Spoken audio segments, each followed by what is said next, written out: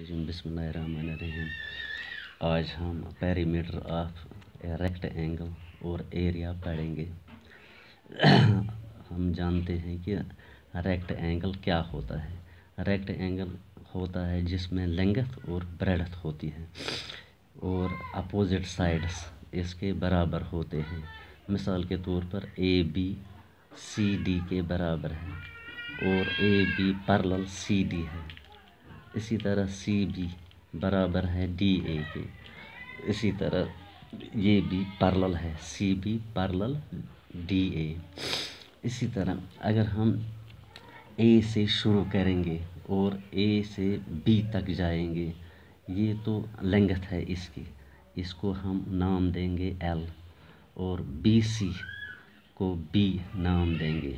हम ए से शुरू करेंगे ए से बी तक एक एल आ गया। प्लस बी से सी तक जाएँगे और एक बी आ गया।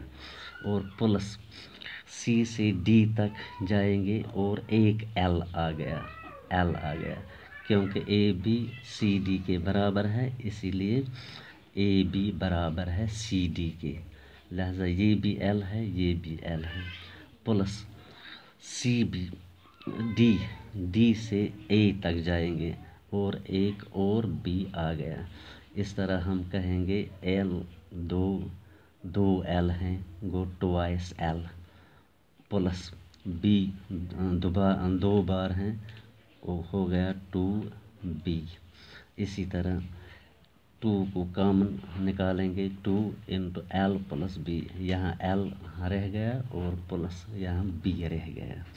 इसी तरह हम देयर फोर हम कहेंगे कि perimeter perimeter of a rectangle rectangle बराबर है twice L plus B twice L plus B अब हम इसका एरिया जानेंगे।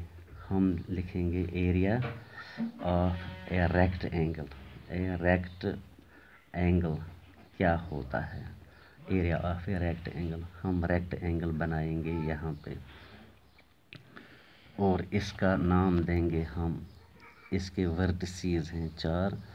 एक को हम ए कहेंगे, दूसरे को बी ए बी सी और डी हम जानते हैं कि रेक्ट एंगल में ए बी डी सी के बराबर है और बी सी डी ए के बराबर है।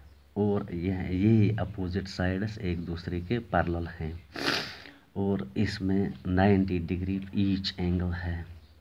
लहजा हम जब ए बी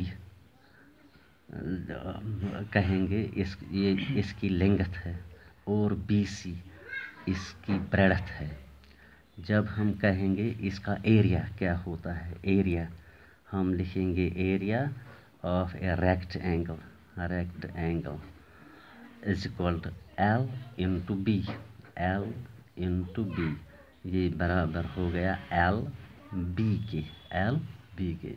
मिसाल के तौर पर हम रेक्ट एंगल लेंगे यहाँ पे और अगर हम, हमें L दिया जाता है सेवन सेंटीमीटर के के बराबर और B दिया जाता है चार सेंटीमीटर के बराबर।